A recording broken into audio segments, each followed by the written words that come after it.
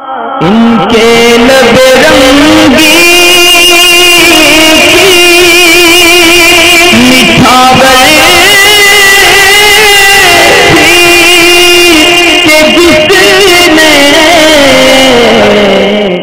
अच्छा आसिफ भाई हैं, बहुत दिन से कमेंट में और ईमेल में एक सवाल को बार बार रिपीट कर रहे हैं, बहुत बेचैन हैं और इन्होंने पहले ही वाजह कर दिया कि मैं कोई, यानी ऑपरेटर नहीं हूँ। और ना मैं कोई डिस्ट्रीब्यूटर हूँ, मगर ये पूछना चाहते हैं कि कैशबैक का लेना जायज़ है या नाजायज़ है कि लोग मोबाइल के अंदर रिचार्ज करते हैं और उसके बदले में उनको कुछ पैसा वापस आ जाता है, उस पैसों को रख सकते हैं या नहीं?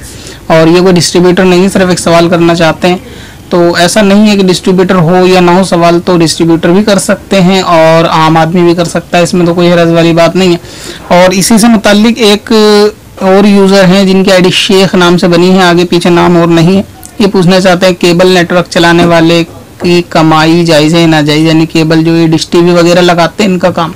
तो सबसे पहले कैशबैक की बात करें तो मोबाइल के अंदर वापस आने वाली जो रकम होती है, जिसको आम ज़ुबान में कैशबैक कहा जाता है, यानी आप अगर कोई सामान खरीदेंगे, और उसके बदले में वो कंपनी जिसका आप एप्लीकेशन इस्तेमाल कर रहे हैं, अपनी मर्ज़ी से वो वापस कुछ रकम देगी तो इसका लेना बिल्कुल जायज़ है, इसके अंदर किसी तरह की कोई कबाहत नहीं।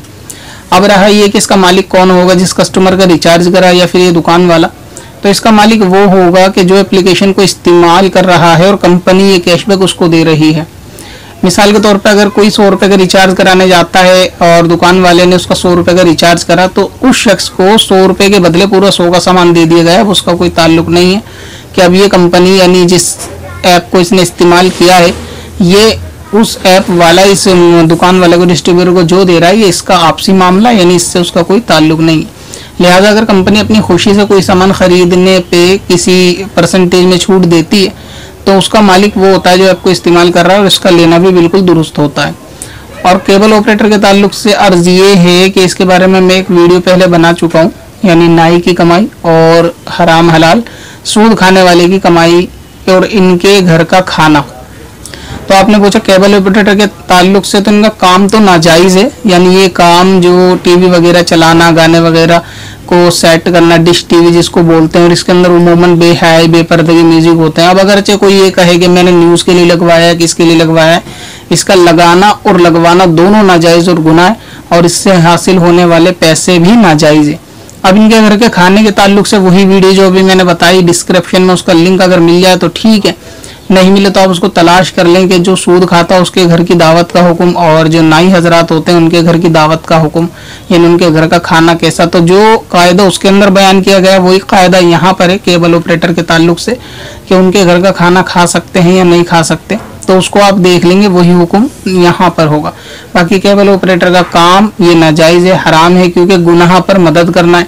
अगर कोई अपनी खुशी से भी कहता है कि आप हमारे घर में ये टीवी ऑपरेट लगा दीजिए सिस्टम जो भी होता है, ये छतरी वगैरह का तो भी उसके कहने पे भी नहीं लगाया जा सकता क्योंकि इसके अंदर अगरचे सामने वाले की मर्ज़ी है, मगर ये मर्ज़ी गुनाह के ऊपर है। इसकी छोटी सी मिसाल एक दूँ, अगर वैसे तो समझ में आएगी नहीं जो केबल ऑपरेटर उनके, लेकिन फिर भी आवाम को समझाने के लिए कि अगर कोई शख्स मुझसे कि ये कहे कि आप मेरे साथ थोड़ी मदद करो, मुझे घर में चोरी करनी है और वो घर मेरा ही है तो क्या मैं उसकी मदद करूँगा? उसको चोरी करने में ज़ाहिर से बात है कि नहीं करूँगा। तब मुझे फ़ौरन शरीयत याद आ जाएगी और मैं कहूँगा, नहीं नहीं तो शरीयत में वैसी ना जायज़ और ऊपर से तुम मेरे घर में चोरी करोगे तो मैं मदद कैसे कर दूँ? लेकिन जब कोई शख्स आपसे छतरी लगवाने के लिए आएगा, वो कहेगा, भाई, मेरी मर्ज़ी है, आप इसको लगा दें। तब आपको शरीयत याद नहीं आएगी, तब आप ये कहेंगे, नहीं, उसने अपनी मर्ज़ी से लगवाई, हमारा क्या कसूर?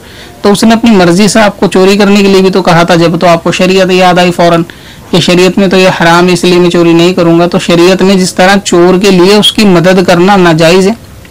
ठीक वैसे ही अगर कोई शख्स कहता भी है कि आप हमारे घर के अंदर ये डिश टीवी वगैरह लगा दे तो उसके कहने के बावजूद भी लगाकर उसकी मदद करना, उसको गाने वगैरह दिखाने में, फ़िल्म दिखाने में मदद करना, ये तब भी नाजायज़ है जिस तरह चोरी में मदद नाजायज़ है। अब बहुत सारे लोग ये कहेंगे कि अगर हम नहीं लगाएँगे तो कोई दूसरा लगा देगा।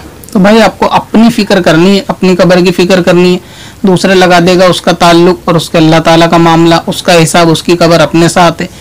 जिनका सवाल है उनके लिए अर्ज़ है, जिनकी समझ में आ जाए उनके लिए अर्ज़ है कि आप सिर्फ़ अपना देखें कि आपको अल्लाह ताला ने ये हुक्म दिया है कि आप हलाल खाएँ और हलाल रोज़ी ही कमाएँ।